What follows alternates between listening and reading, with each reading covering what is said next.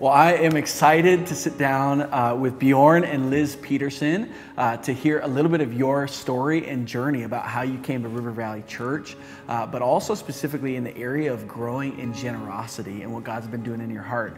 What were some things about River Valley that really um, kind of drew you to it, so knowing like this is our home? One of the things that I loved about the church from the very beginning was um, seeing the heart for missions. It is one of, if not the top priorities for the church to go out into the world and change the world because of Jesus. And it's every single week. You know, it's Yep. it's not just Mission Sunday once a year, once a quarter, whenever the missionary family happens to be home. Right. My grandpa was a medical missionary to Africa. Yep. So my mom grew up in Ethiopia. So your mom's dad was a medical missionary Correct. in yeah, Ethiopia. In Ethiopia. I had been exposed to missions from an integral way, you know, Yep. growing up, but it wasn't, you know, the weekly focus. You know, for some, it's it's the, it's checking the box. You go to church every week. Yep. Um, at River Valley, you know, you're there for a purpose. You're there to experience God. You're there to serve. You're there to be a blessing. Yep. Um, and kingdom builders, you can't you can't ignore it. You know, you can't you can't not see it when you're there. What were the conversations like between you two of like, hey, we've always been tithers, but River Valley, there's something different here. What did that look like as husband and wife as you guys are kind of praying through and talking about that? Well, I think the initial give over and above was for this event last year. I was praying about what we should give and I had a number and I asked Bjorn and he had the same number. I don't know if you even remember Yeah, that. yeah, I remember, yeah. And that was a really cool thing. Um, you know, I'll Yeah. be honest, we do have a lot of student loans and part of our story over the last year is let's pay this thing off so we can give and give and give and not be restrained. There's a lot of people with debt and they probably think, you know, debt's bad and Kingdom Builders are good, let's get rid of the debt and then let's participate in Kingdom Builders. So any, anything like in response to that? we could be paying off debt forever. You know, we could we could conti- it could be 10 years. You know, we have, you know, mortgage, then inevitably kids need to go to school and college and Yep. new car. There's always stuff that's going to come up. But what what are your priorities? What do you value? What's in your heart? Like if spreading the word, if enabling some of these people who are, you know, sacrificing way more than we are Yep. to spend their lives overseas, mm-hmm. you have to do it. You know, it, Yep. it's not an option. You, you, you do what you can to pay down your earthly debt, but we're investing in something that's eternal. And that's, you, you see these stories every Sunday and you can't ignore them. You know, Yep. this, this is what, what God is doing around the world, and we can be a part of that. What's your response to like over the last year seeing what Kingdom Builders is doing around the world? The two stories that come to mind are the Northeast Asian Coffee Company. Yes. Um, Young and- missionaries. Yeah, young missionaries. Yep. They look like they could be our neighbors, you know? And and what are they doing? They're doing something very practical. They're working with coffee of all things, Yes. like something that's almost an essential supply, you know, around the world, It's let alone essential. It here, is, you Just know? make it clear. Essential. But Coffee is essential. but who who would have thought you could you could be a coffee farmer and that's missions work? And the story, you know, that the guy who received the Bible in his language for the first time and just you know tears, just couldn't believe mm-hmm. that he was holding a Bible in his language. Mm-hmm. Like you know, money that we give to Kingdom Builders is directly going towards spreading the gospel. The end game is like seeing more people in the kingdom of God. And Kingdom Builders, through all of those organizations, has done that in the last year. Mm-hmm. And if I hadn't given anything to Kingdom Builders, like then I wasn't a part of that. Yeah. Yeah. And you guys and anybody that's given to Kingdom Builders has been a part of saving real people, mm-hmm. getting them into the kingdom of God that will meet on the other side of eternity, which is exciting. God is always working. It's not he's not waiting for us. He's always working and it's up to us to join him in what he's doing. So whether we participate or not, he's going to move. It's just whether or not you want to be a part of that. It has been awesome to hear your story, to sit down with you for a little bit. And I'm excited for you guys and your family, the continued legacy of your grandfather, who is medical missionary. But also, I'm excited for Miracle Offering this week across all of our campuses, everybody watching online, uh, believing God's going to do exactly that, that it will be a miracle offering.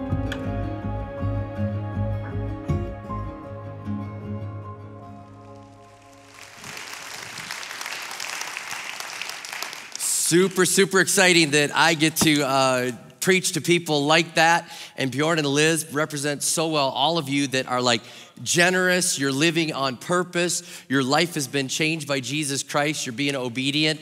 And uh, I love that we're here on Miracle Offering Weekend because you are living saying, We are holding nothing back. That's the way you've been living. And uh, I just celebrate that.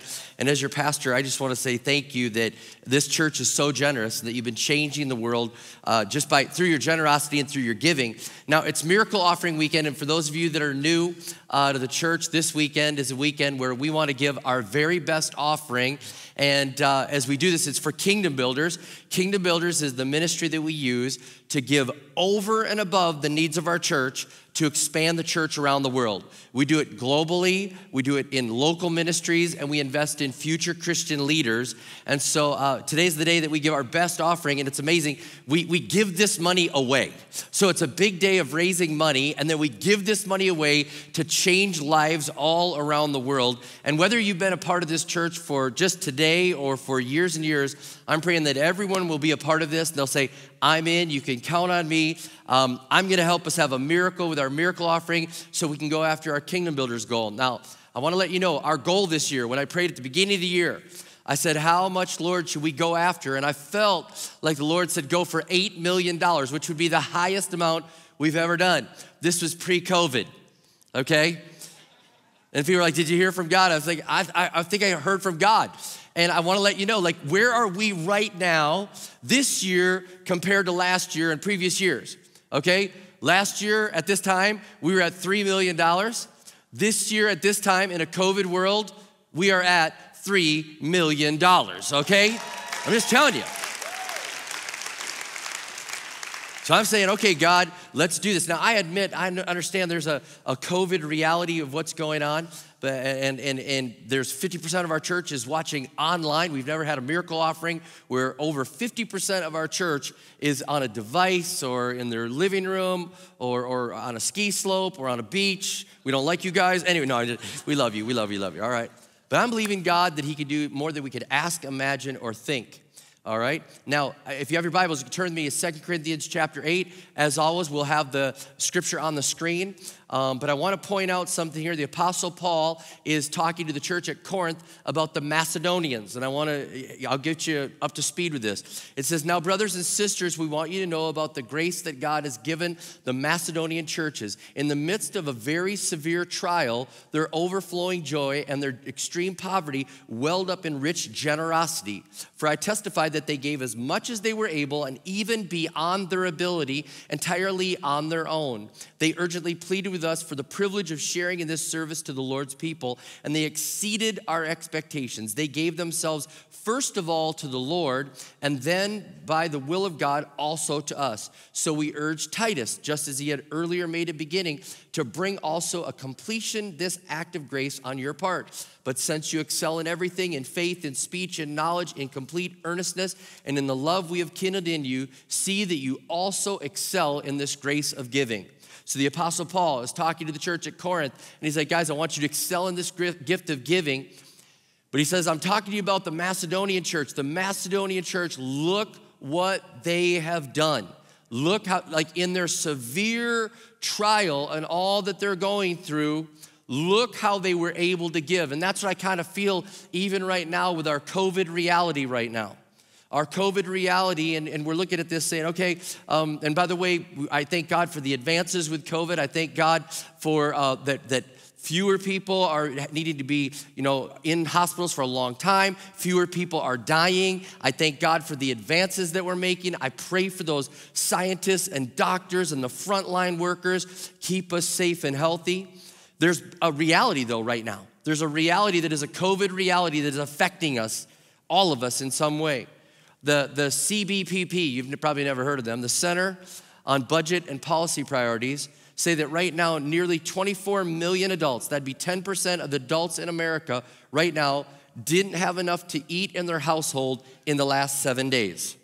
That's a very real reality that we're living in right now in America. One in six renters are now late on their payment. One in six, okay? One in three are saying that they believe it might be difficult somewhat or very difficult in the next coming months to pay their bills of just necessities. There's a, a COVID reality that is happening right now. And I, and, I, and I put that up against what the Macedonians were going through. The Bible says that they were going through a, a severe trial. A severe trial. And some of us in our first world problems. We're trying to figure out where do we rank compared to the Macedonians. The Macedonians were going through a, a famine in their day. It was a persecution and famine that was going on. And I want to let you know that famines are even way worse than COVID. All right? I'm not minimizing COVID, but I want to let you know what the Macedonians were going through was way worse. And the, the closest thing I can illustrate this to you with is um, I found out that Sweden has kept track of all the deaths that have happened throughout the plagues and the crisis over time. And I want them to throw that graph up on the screen if they can. All right, if you look way over on the side here, this little tiny red one way over on the far right as you're looking at it, that's currently the COVID deaths in Sweden all right? If you see that very big line over there, that was 1772, 1773, uh, dysentery and famine. Look how big famine is compared to COVID. And this is adjusted for population.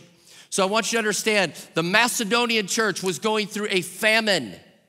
They were going through a persecution. We're going through COVID. It's our current reality that has knocked some of us down. But Paul says these guys were going through it. They were going through it and something happened. And so I want to look and I'm like, Lord, what happened to them? Can it happen to us? And I say it can. In verse 1, it says, And now, brothers and sisters, we want you to know about the grace that God has given the Macedonian churches. If you're wondering why I have faith high with our miracle offering today, it's because God gave the Macedonian church the grace to give, and I've been praying for Him to give you the grace to give. You say, How can we do it? God's gonna give us the grace to go through this. And if you've not asked Him for the grace to give, you need to start asking, God, give me the grace to give. Give me the strength to give. Give me the grace to give. Empower me to be able to meet the need around the world on this miracle offering weekend. Verse 2, it says, In the midst of a very severe trial, their overflowing joy and their extreme poverty welled up in rich generosity in the midst of trials, in the midst of struggles, something supernatural can happen underneath the surface that makes generosity well up and bubble up. It just is something that God does. And, and, and I've just been praying, God, let, let's see this bubble up in our church. Let's see this bubble up right now. And if you're not listening to what God's saying right now, how many know there's nothing bubbling up? There's nothing above it. If you're just if you're just watching, if you are addicted to the news right now and you are just zooming it channel, you know, CNN, NBC, Fox, you're going back, Fox, NBC, MSNBC, CNN, and you're just and you're watching that, how many know faith is not rising up, fear is rising up? Here's what happens. In moments like this, we are bent for bad news, and bad news is the fertilizer that makes fear grow. Bad news is that fertilizer and it's making fear grow. And then when fear grows, you know what happens? It paralyzes you. And you're like, I don't know. I don't know what we can do. I don't know. I, I, wonder if we could do anything for this miracle. I wonder if we could help. What, what should we do? And fear has paralyzed you, and you've got to listen to God in times like this. You got to say, God, I want to listen to you so that generosity just grows up in me. It just keeps going. And, and here's the thing Fear is attacking people that are doing well. Uh, there are people right now that are not in the one in six that have fallen behind on rent. They're not in the people that are wondering what's going to be for dinner this week. Matter of fact, the biggest decision they'll make is after church, where are we going to eat? Because they've got money to eat. And they, but there's still a fear that happens there. These are people that have kept their job. They can pay their bills. They have so much, but not as much as maybe they thought they'd have. Maybe they've been day trading and making more in day trading than they made in their salary, but there's still something about fear right now that's causing people to, to shorten their arms and to pull them back and to say, I don't know. I don't know. And then the enemy says to you, you know what you need to do? You need to do, you need to like stock your shelves just in case. And that's a, a phrase that I'm starting to not like very much.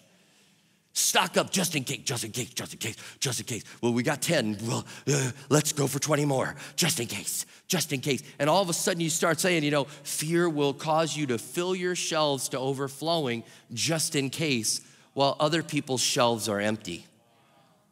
India saying, hey, kingdom builders, are you gonna send the $98,000 left this year? And I'm saying, hey, hey, we're not gonna stock our shelves. We're gonna fill your empty shelf. Convoy of Hope is like 35,000. Are you gonna do it? I mean, seriously, India, the India's wondering. The persecuted church in the Arab world is like, you gonna stock your shelves? Or are you gonna, are you gonna fill our empty shelf?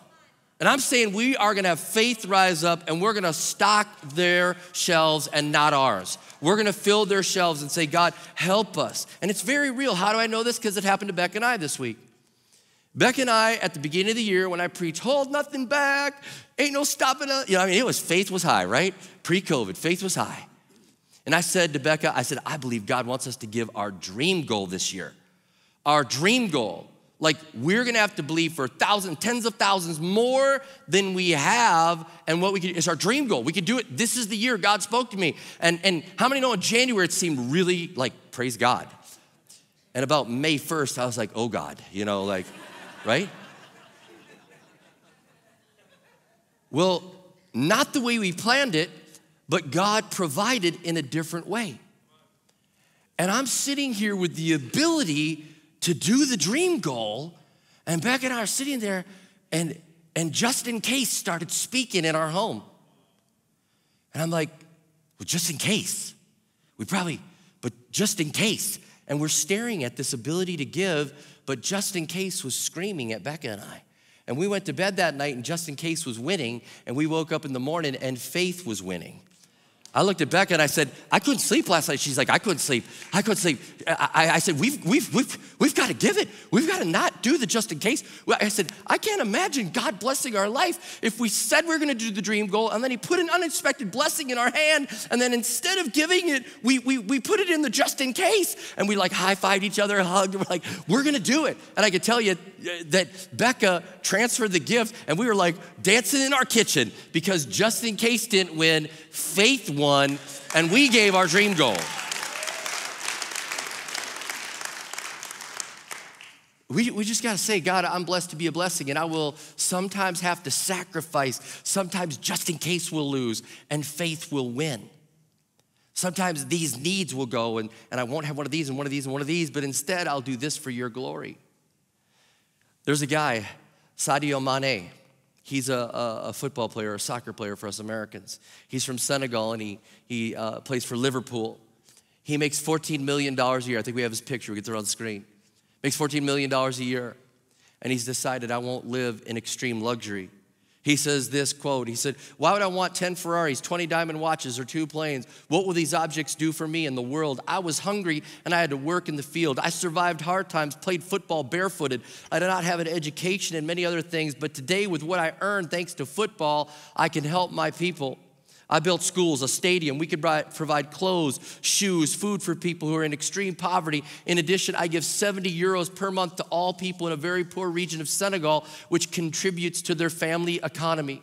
I do not need to display luxury cars, luxury homes, trips, and even planes. I prefer that my people receive a little of what life has given me.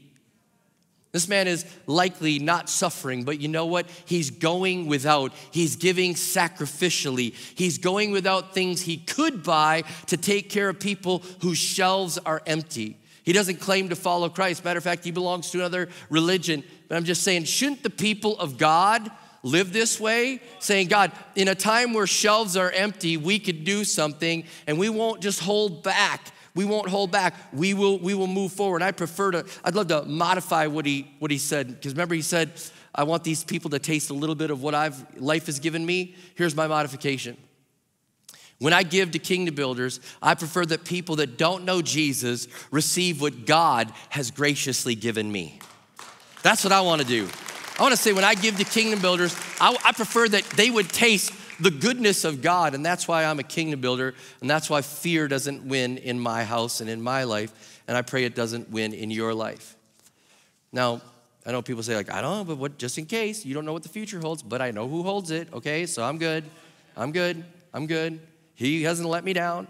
All right, verse three through five. I got to get going. I got to get through this. For I testified that they gave as much as they were able, even beyond their ability. Can I just say that? That's where probably we get the 110%.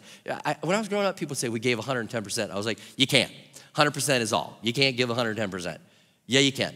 You, you stretched beyond what you thought you could give, and you created a new normal, which is now your 100%, but you went beyond it, and they, and they gave beyond their ability. And, and in verse 5, this is just so funny. The Apostle Paul, like he's asking them to give, and then he says this they exceeded our expectations.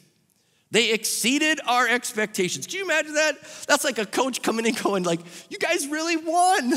You did it." You know, for those of you who don't know, my father-in-law, like he said that to me many times like, "Wow, I can't believe that you amounted to this." I'm like, "How low were your expectations?" now I know why he fought me so hard for Mary and Becky. He's like, "Oh boy, all right, you know." Man, I got to tell you, I have not had low expectations of our church. That's why I prayed and believed in faith for $8 million. That's where I'm still holding on to faith right now. That's where, uh, you know, that our, our church has been in growth year after year after year after year. The only things that have slowed us down is lack of leaders and a COVID year. That's it. That's the only thing that has slowed us down. And I'm charged, I'm saying, God, like, like let's move forward. I had some of my pastors, friends, I, we had about 80 people on a Zoom teaching thing about kingdom builders, and they were asking, like, what, what, how, how much less are you gonna believe for? And I said, none. Why, why not? Why aren't you pulling back? I'm like, because I'm not gonna pull back. I don't know what God's gonna do. I said, I don't know if God's blessed somebody else over here that can do it this year. I don't know if the CARES Act, which the CARES Act, people can give 100% of their income and write it off. Never done before. 50% was the limit, and now it's 100%. One year only because of COVID. Companies that can only write off 10%, but this year they can write off 25%. It's a one time exemption. And I thought, Lord, please, how about a couple of those? Our online off- uh, offering, I'm like, that, uh, who knows? Maybe there's somebody watching right now online and they're like, I'm in. And, and we'll, so I'm not lowering our faith. The need is so big. The lost are still lost. The thirsty are still thirsty. The hungry are still hungry. The naked still need to be clothed. And the prodigal still needs to come home. So I'm not stopping. So in times like this, I'm believing for the same grace that the Macedonians had. And you saw on that chart, like famine, way more. And I understand the COVID reality is very real, but I'm believing that this is a church that exceeds expectations. That's what I'm believing. I'm believing that, that the India house churches can say, hey, this is a church that exceeds expectations. We're going to do it. I'm believing that Japan right now that's saying, Are you going to start more churches with us? We would say, Yep, we're a church that exceeds expectations. I'm saying, Live Dead Arab World, again, we will exceed expectations. And while I'm at it, Russia, we haven't forgotten about the orphans. We are going to be a church that exceeds expectations. Eswatini, give the kids a hug. Hope is on the way. That's, what that's the type of church we're going to be. You say, Pastor Rob, how can you be so confident? How can you be so confident in this? Two things. Two things. One comes from Proverbs, and one will be back in our text here. Proverbs 11 25 says this A generous person will be prosperous, and one who gives others plenty of water will himself be given plenty. Here's what I believe I believe that when we water the dry souls of the world through Kingdom Builders giving, and we say, Here comes a well that will help you. Here comes a church that will preach the message of Jesus. Here comes clothing and food for orphans. Here comes, do you see what I'm saying? Here, do you know that we underwrite the, the livelihood of, of, of hundreds of people that live in the Arab world that are being persecuted and cannot have a job because they follow Jesus and they've been told you cannot work anymore. We underwrite them. We are watering people that are thirsty and dry and dying. And we're saying we're bringing the water, and the Word of God says those that water the dry will be watered themselves. And how many know God has His hose hooked up to a bigger hydrant than we do? And so I'm just believing that I can be so faith filled because we're watering the dry and he's got a bigger, his bigger hose coming our way. All right? And then, and, and then this is the this is the real clincher. This is the real clincher. In verse 5, in verse 5, they said, it says this, they gave themselves, the Macedonians, it says, they gave themselves first of all to the Lord, and then by the will of God to us. The Macedonians said, Lord, here's my life. I hold nothing back. You have me. You have me. And then when the need came up, he said, This is the need. They said, Yeah, you can, you can have the money. You already have me. And when I think about River Valley Church and the church we have here, I understand that this church has already said, You, you have me. You have me. This isn't a social club. Lord, you have me. I, am on mission. I gave you my life. We have people giving their life to Jesus every week. You have me. And so when the need's there, we're like, Lord, sure you can have this because you've already had me all along. And so now when the need is there, I'm willing to say, Lord, I hold nothing back. You already have me. I'm going to give. I'm going to give to you. I'm going to go and say whatever they need. I'm going to be obedient. Fear will not win, faith wins in this house. Faith wins in this house. Come on, give God a praise all across the church.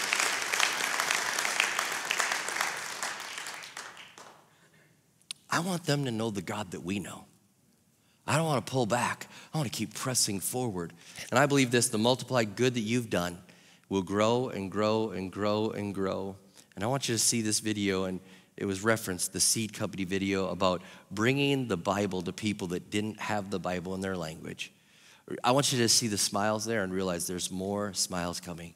Africa's Hope, there's more smiles coming because we want to fund that project. Cuba churches that are facing persecution, we want to fund that project. Healing Haiti, we want to fund the project. We want to do that. Uh, Hand of Hope, we want to build the churches, dig the wells. I mean, the people of Burkina Faso, we want to bring hope. And because you have first given your life to the Lord, River Valley Church, because you've done that, man, I believe we will now be able to financially bring our gifts to, to, to the church through Kingdom Builders and now bring this message to a world that needs to know Jesus. Amen. Amen.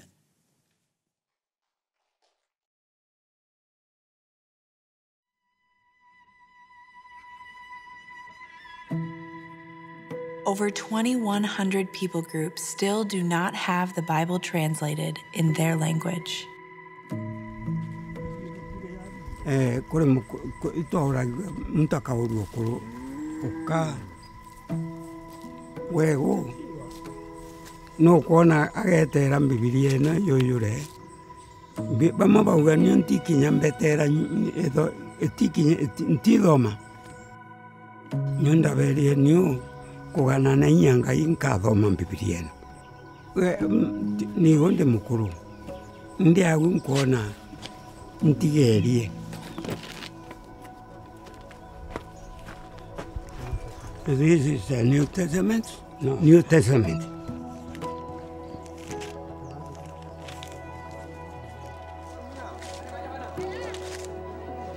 When we completed the New Testament in 2001, right from that moment, we began to see great transformation among Tharaka people.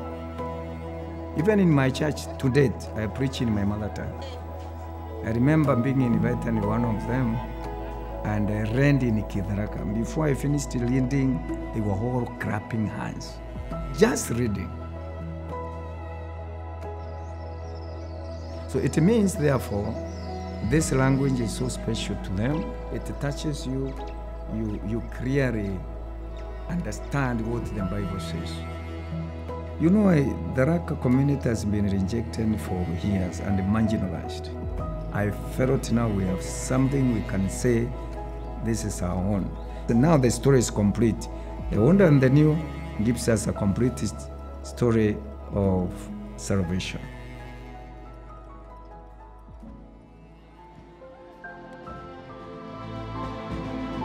When the procession came in, I was crying, crying with joy. It was so powerful for me. Even now, when I remember, tears of joy come to my eyes because I was so happy that what you have been waiting for has finally come.